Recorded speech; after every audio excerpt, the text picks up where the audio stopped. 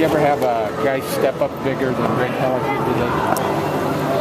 Uh, you know, right off the top of my head, I can't think of I can't think of one. What a great opportunity for a senior to do that. You know, and uh, Greg knew the circumstances that we were in. If we have any hope of of trying to get through this losers bracket here now and get to a championship game, that we needed a an outing out of him. You know, whether it be seven innings, eight innings, and you know, in this case it was nine. We needed to go deep into that game because got to play three more games to, to, get this thing done. So we got a lot of we got a lot of things to do. A, I'm very pleased with him. Greg's one of those kids that's very quiet, goes about his business. He's a very conscientious kid. You know, came back from arm surgery a couple years ago. So this will be one he remembers for a long time. This situation. Uh, did you sense he was getting stronger as the game went on, or maybe frustrating them as the game? You know, I liked about the third inning. I liked his presence on the mound. It was just a different look than I've seen from him all year. And that's normally we would take him out after eight innings. And even though we scored a run in the ninth to kind of, you know, create a little larger uh, gap there for us, we were staying with him. And it wasn't because we had a game tonight, possibly.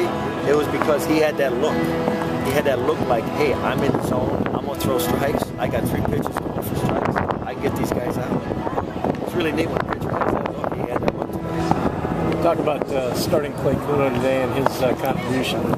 Well, you know, Clay's again one of those seniors, doesn't say too much, you know, goes about his business. He had a great at bat down at Iowa. He had a pretty good at bat here on Saturday against Missouri State.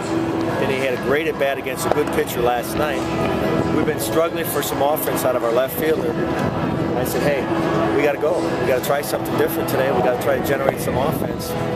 And uh, you know, he had a bad first at bat. He struck out, but you know, really created. He gave us a spark. And sometimes that's what a what a player who hasn't played much can do for you. And that just it, it, you know, it just so happens he's a senior too. So I'm very happy for Clay too.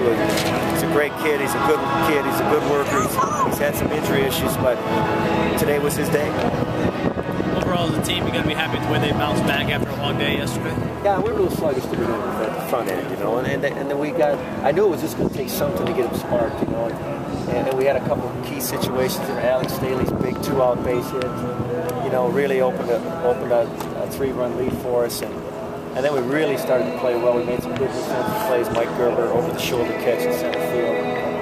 That's what we're capable of doing. But you're not sure if that team's going to show up coming off of what they experienced last night. They were they were hurt last night. They they really fully expected to to win that game. This team has grown to expect to win every time they go on the field. So that one knocked them on the heel. They were sluggish to start, but because of Greg's good work, he kept us in the game until they until they were able to shake some of that stuff off. Thanks, coach. Brandon tonight. Brandon tonight. Nine out of you? we got a, we got a rested bullpen.